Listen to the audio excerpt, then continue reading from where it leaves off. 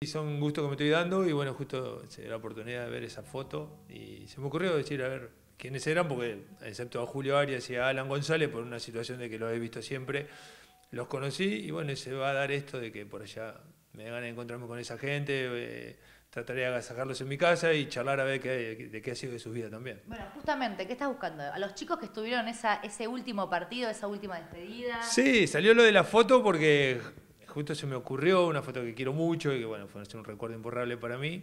Y bueno, hay, hay mucho de la familia Piagnatelli, que es muy, muy directa con Villamitre. Y sí, a cuanto más se agreguen, mejor. Hay muchos que me han escrito que estaban cerca, qué sé yo. Pero bueno, mientras tanto, estoy ya somos como 10.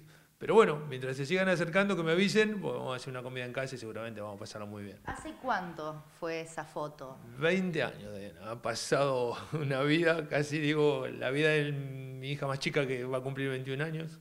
Eh, de algo imborrable para mí, que parece que, fue ayer porque vinieron gente de Necochea, de donde yo soy y demás. Pero bueno, el cariño de la gente de Villamitre se manifiesta así, desde chiquito, es una gran verdad. En 20 años, y esos chiquitos que estaban por ahí en escuelita, eh, em, imagino que ahora son gente, hombres. Todos con familias. Hay algunos me escribían que algunos me lo he cruzado y no sabía que eran los de la foto. El caso, te repito, de Alan y Julio, porque he seguido con ellos en el fútbol. Pero bueno, te decía la familia Pagnatelli y mucho más, me, hablan de Gastón Casas, en el caso de tu hermano, todos chicos con los cuales, con algunos no he tenido el trato que, porque después se hicieron grandes y yo dejé el fútbol, pero bueno, por eso me quiero reencontrar ahora y me parece de una buena forma. Bueno, ¿qué significó ese día para vos?